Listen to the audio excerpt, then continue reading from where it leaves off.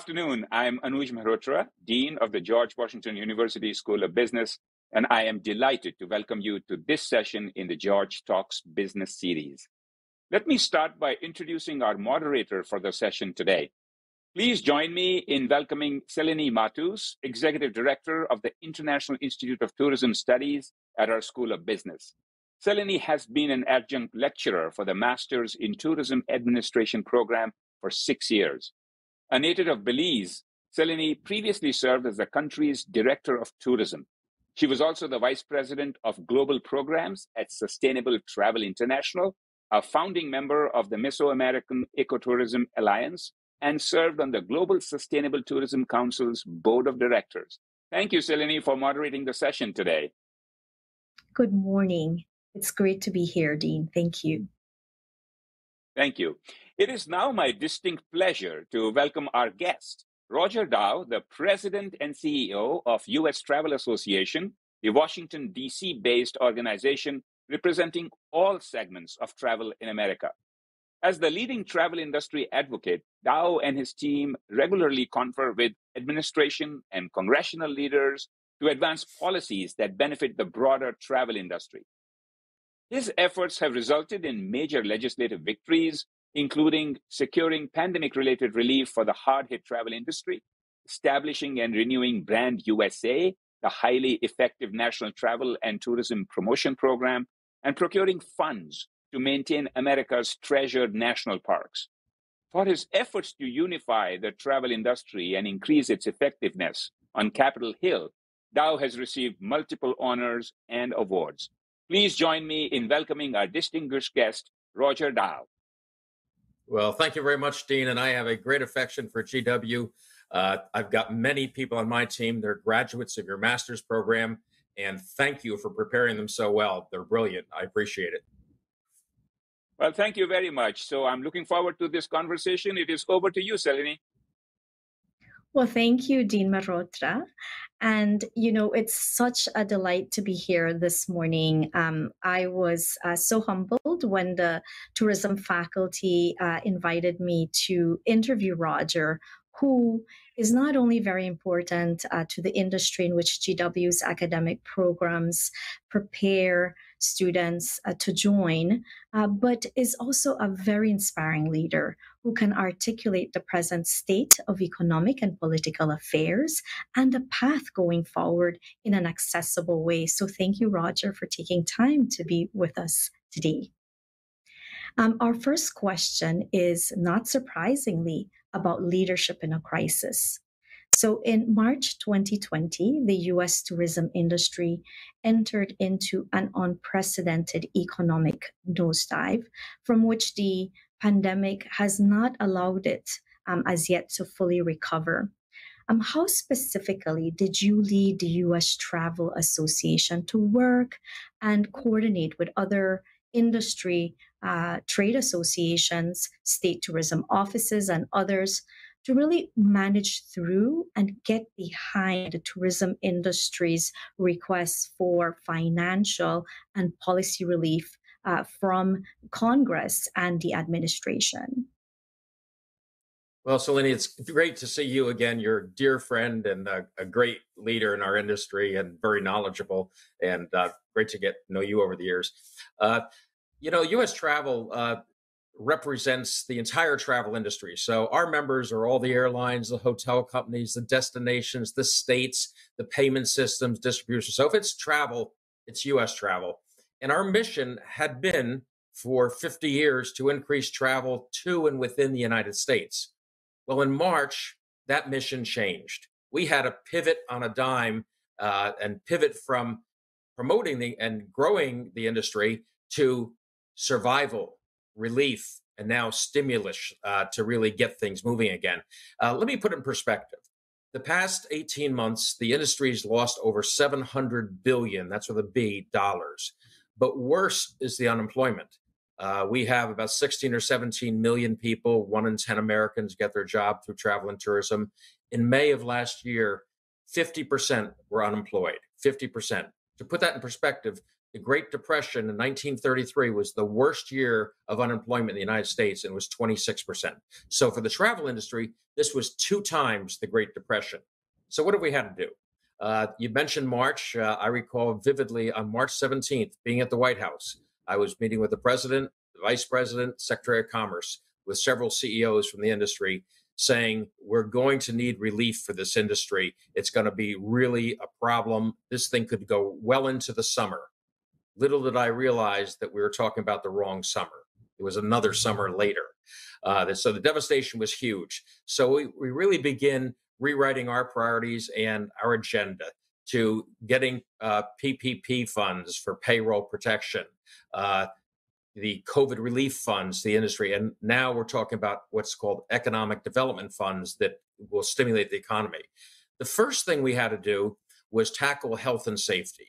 Uh, we never knew what to do. We never had this happen before. You know, we've had flus and things like that, but also in the industry had to come together and as an industry start building confidence one for their employees that were coming to work but also for travelers that we knew how to handle this so we brought the whole industry together and we established protocols that the whole industry backed up and then some took them in different ways whether it be airlines or hotels or theme parks but set up protocols with medical experts. We brought epidemiologists in physicians and uh, people from the uh, the hygiene area of cleaning and all that to really understand.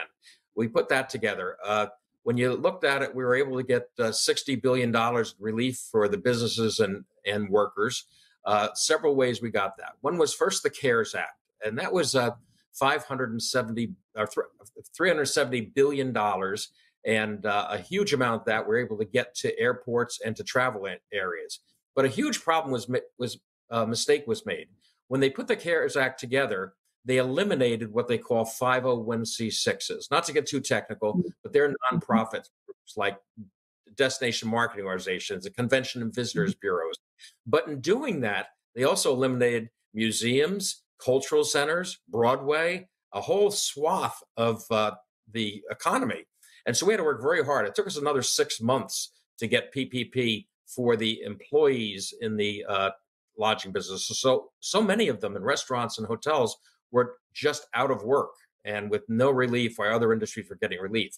Then we started working on the American Rescue Plan. Uh, that was about $350 billion.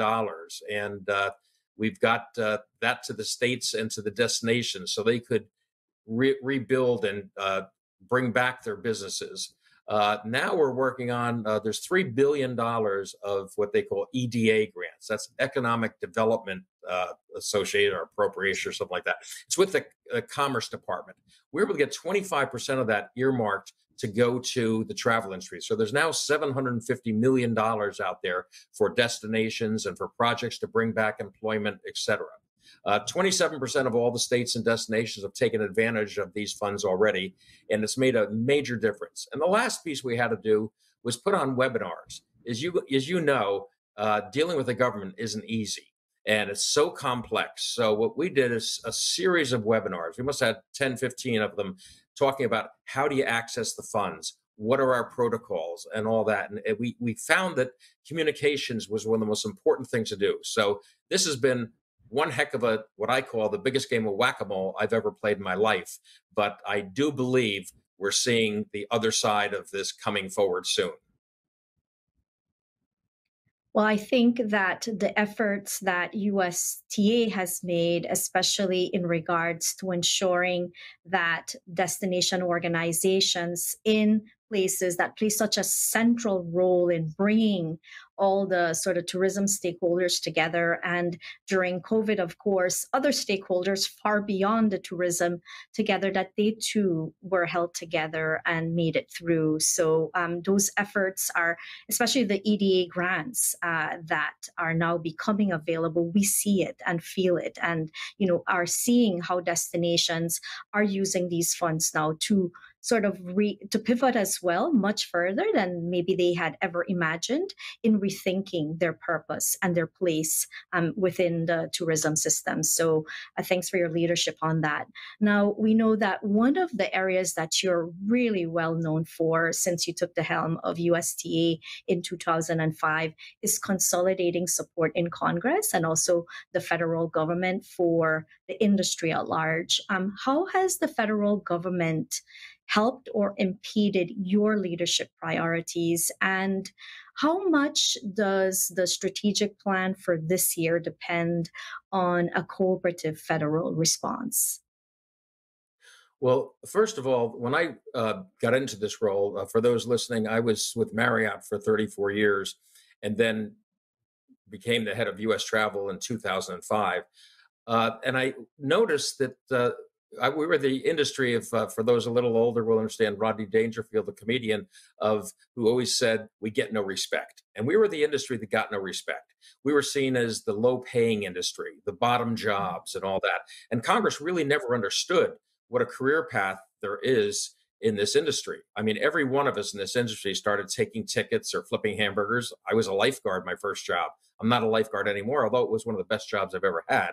Uh, but the, maybe I am a lifeguard. But when you think about it, but the bottom line is we had a role for the past 10 years uh, 12 years of getting Congress to understand, getting communities to understand the value of travel and tourism and uh, they were thinking very narrowly. They they think about travel and tourism as just being the jobs. But the thing that I, we had to get across and get Congress to understand is travel and tourism is the front door to economic development. Nothing happens until someone makes a trip. No one decides where they want to move to or get a second home, so they've traveled there. No one moves a company or a headquarters or an office somewhere till they first traveled there, been to a meeting. No student has decided whether they'd go to GW or any other from people from around the world until they first traveled there and they've been to Washington or they've been to where they want to go to school. And so you think about it, we have a link to the entire economy. Well, now it became much more important to show that how that link was so important to the overall economy and jobs, having all these people unemployed. And we we had to get the administration and Congress to understand how critical it is to restart travel.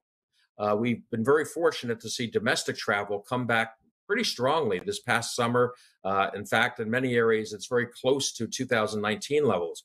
But you can't live on domestic alone. We need to bring back business travel, professional meetings and events, and international travel, and all those things. Uh, we're fortunate we, we've been banging away at the government to open up international inbound. Uh, I think we were slow as far as the government to do that. Uh, Americans could go to EU, could go to UK, could go to Canada, Mexico, South America if they're vaccinated, but they couldn't come here. So finally, in September, we got the administration to announce that in early November, they would open international travel to vaccinated travelers come to the United States. Last week, they announced the official date will be November the 8th. So in uh, just a couple of weeks, we'll be able to welcome inbound travel. What happened when that announcement was made? First of all, in, international travel to the United States was $250 billion, uh, our second largest uh, export, uh, and a big uh, surplus in cash uh, in 2019. And that ground down by 90% of all of that. So it was very important to bring that back. The day that it was announced in September that the government was going to open international travel, uh, British Airways told me their bookings went up 700% the next day. That evening, British Air Holidays, uh, been in business for 30, 40 years, had the fourth biggest day of bookings to the United States they've had in the history of the company.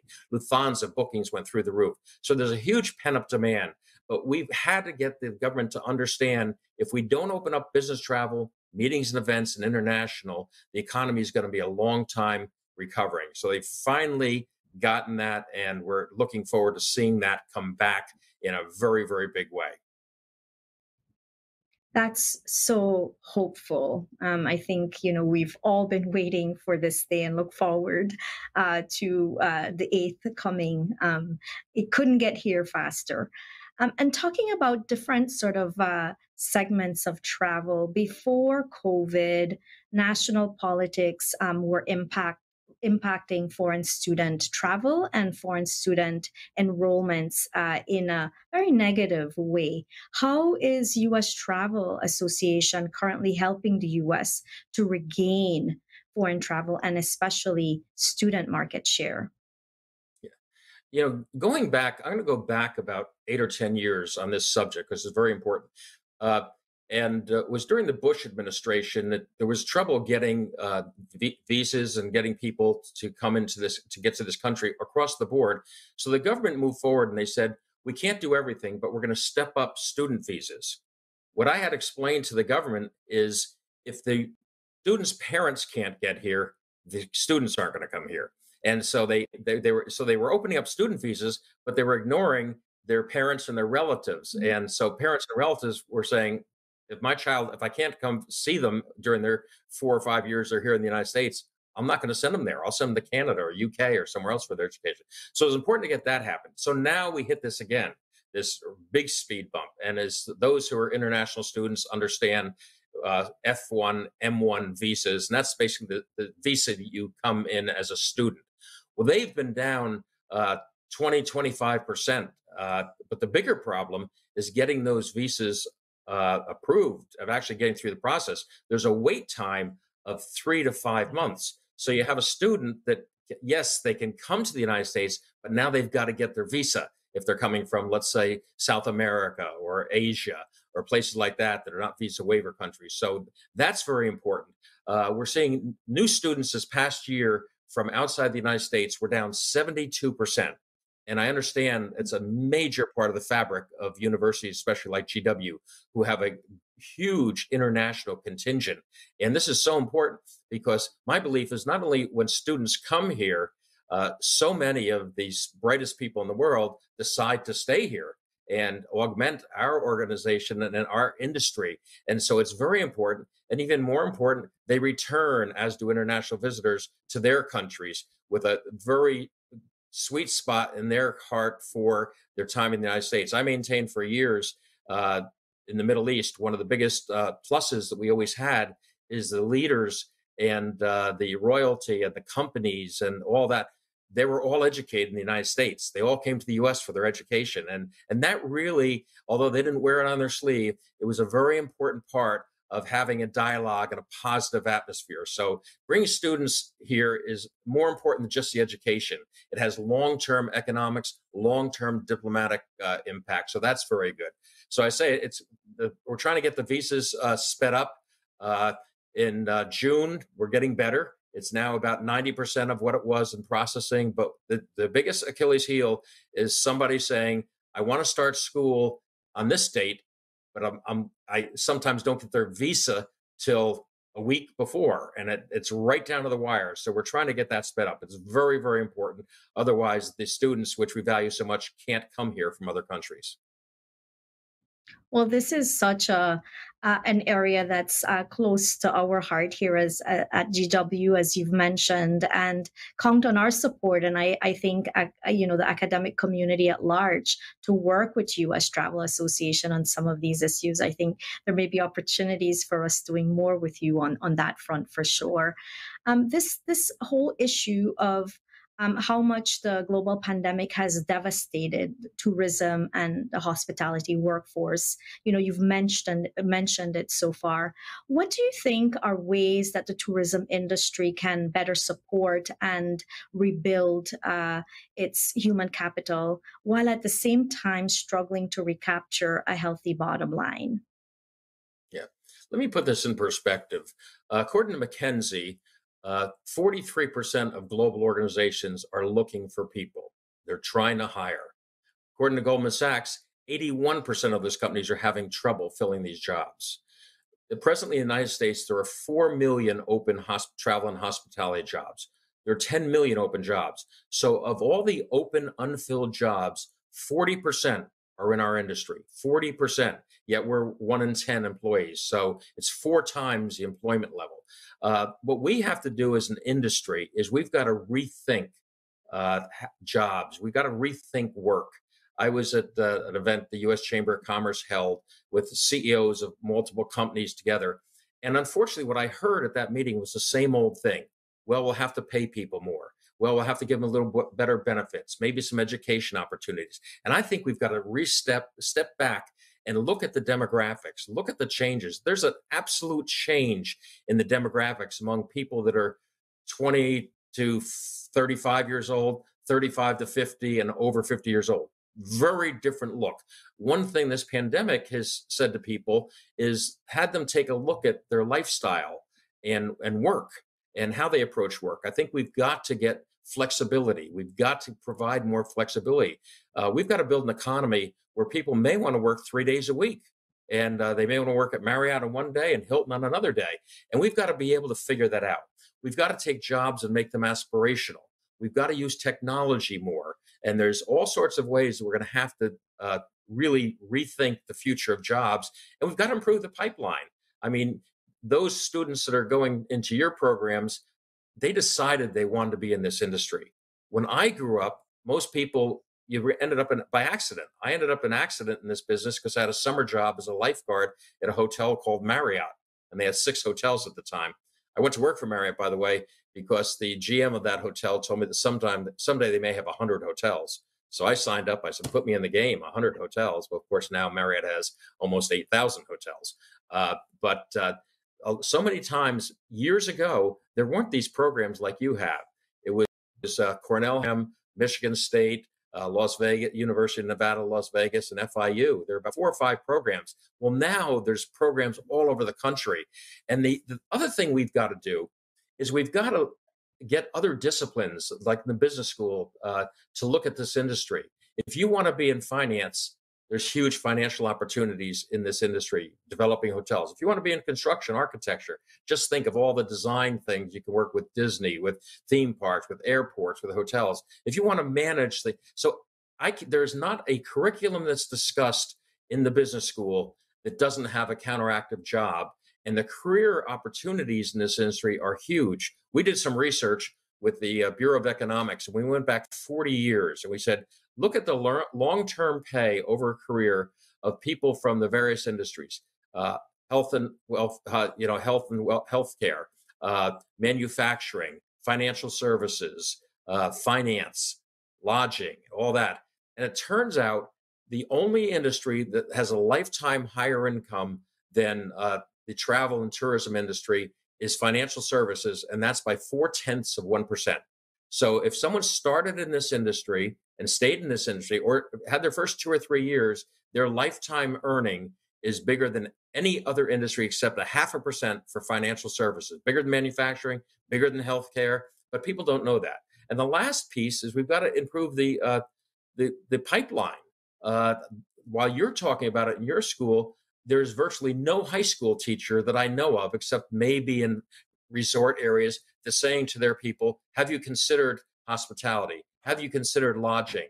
Have you considered the convention business? And we've got to get high school teachers to understand, to get people thinking about no matter what I want in, in whatever career I want to pursue, there's a giant opportunity. And the last piece is for people to understand that this is everywhere. If you're in uh, technology, you better be working in the uh, DC area, New England, parts of Texas, and mostly the West Coast. If you work in Oklahoma, you're not getting a technology uh, job. If you're in hospitality and healthcare or tra- uh, hospitality and travel, you can work anywhere Fargo to Fort Lauderdale, uh, San Francisco to Shanghai. There's a job everywhere in the country for you, and it's going to be the biggest workforce uh, in the world. So the opportunities are, are huge, and we've got to get people to understand that. Wonderful insights uh, you know and the challenge is clear too. We need to really dig deeper and think outside the box about how it is that we create the flexibility needed and go far beyond um, where you know the the areas that we've been thinking about um, that are important to employees in our industry. But it is right. There's a job in tourism anywhere in the world, and this is something that we need to do a better job to convey as well. Um, so thinking about the um, area of building or rebuilding confidence in travel, we know that you've led the campaign Travel Confidently this year, and I'm just wondering what um, have you been seeing as the success so far in retaining uh, business as well as leisure travel here in the US? Well, as I started earlier, I said the first thing we had to do is bring an industry together to talk about protocols. While our industry has always done a terrific job in you know hygiene and cleanliness and food service and all that, you know it's it's been part of the industry, but never have we been a challenged as uh, with the pandemic, with the cruise lines do a phenomenal job. Again, had to really rethink and step up the airlines, and uh, we had the job of getting people to understand that these are very safe places. Uh, Harvard University did a study on air, air traffic, and the chances of you getting COVID on a plane flying from Europe to the United States are one in one million. Over 400 million people have flown since January in the United States, and we have yet to trace any COVID, you know, cases back to that. It's you're 10 times safer on a plane than you are in a grocery store. Just think of it. You're a grocery store, no one's wearing masks, they're picking up fruit, putting it down, handling things. On a plane, you've got an air system that the air changes every two minutes on a plane. Goes through these HEPA filters, just like they have in a hospital uh, operating room. The the sanitation of uh, that's taken place, the technology, fortunately, has been here. Uh, your phone is going to be your credit card, your room key, and all that. And people are touch, going so much touchless food food handling uh, how that's that's done. And all those things are combining. But we have to get people to understand that the the challenge we have is people thinking it's not safe and the media is not helping with this. The media is talking about you know all the you know the spread and the vaccine that's all you hear on the news when you look at the reality if you look at what is happening with case counts you look at uh, how safe an airplane is, we've got to get that word out. We've had the Mayo Clinic do studies for us. Ohio State University said you're safer at a professional meeting and event than you are at a mass festival or somewhere like that. So we need to people get on to understand that. I was at a big event we had recently, and one of the uh, gentlemen who's worth it with a, one of the convention bureaus was walking into the hotel and he had a bag from CVS. And I said, "Oh, you forgot your toiletries?" He said, "No." He said, I had to go get two tests. My wife wants me to take two negative tests before I come home to her and the kids. And, but it was that thinking.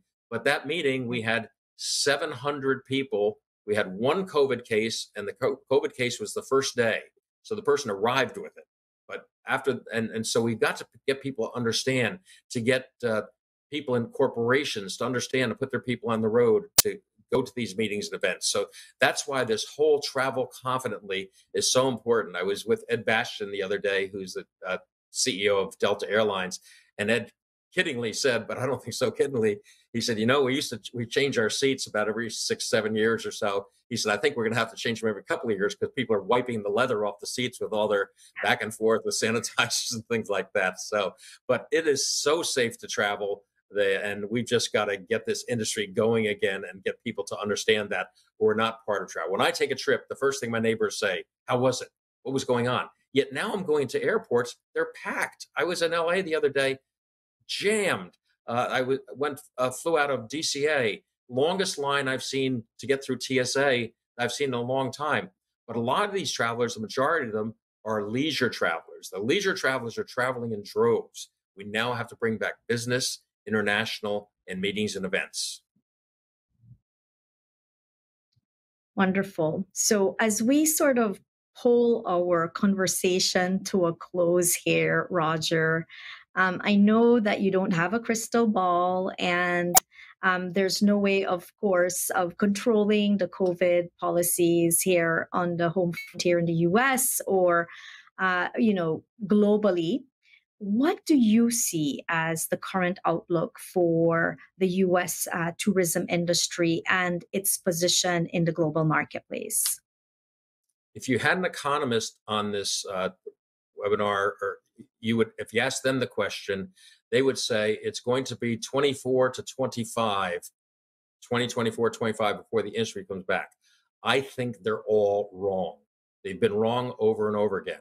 Uh, September 11th, after September 11th, they said no one would go on an international flight again for fear of terrorism, followed by the 15 of the biggest years of international travel ever. 2008 recession. Uh, headlines were 30% of all hotels in America never to open again, to have to become apartment buildings because not enough people are traveling. Followed by 10 years of every single month being bigger than the month before. We had t- a 10 year run up to February of 2020 of every single month being bigger than one before. So I think travel's like a coiled spring. It's going to come back. Domestic is already back. Domestic leisure is already back to 90, 95% of where it was. So, and that's going to just get stronger. International, uh, as I say, the pent up demand, I think you're going to see that. The slower area to come back, I believe, will be Asia. It'll be a little slower bringing Asia back. And that's such an important market. Uh, when we started working on China, we had 300,000 Chinese visitors uh, about 10 years ago to the US. 2019, we had 3.2 million. So to give you the the huge opportunity that is, so we've got to bring back Asia. It's going to come back a little slower, but I think once people start seeing each other travel as we open up, we're going to see international. And then the big thing when meetings and conventions come back, we have a challenge with meetings and conventions with th- three challenges. One, the corporate uh, chief financial officers are in the boardroom saying, look, nobody went to a meeting, nobody traveled the past 18 months, and our profits are phenomenal. Maybe we don't need them to travel. Well, that's going to end when you go on a trip and you get the business, and I stayed home and try to do it over the internet. I'm going to get back on the road to try and get that business. That's going to change. We saw that happen in 2008. The companies that got their people traveling again never looked back. They they picked up market share, they picked up margins over their competitors who were standing there wondering what happened. And the last is professional meetings and events. It's a little slower starting, but we're seeing the bookings for professional meeting events going up significantly. Uh, the bookings for next year are bigger than they were in 2019.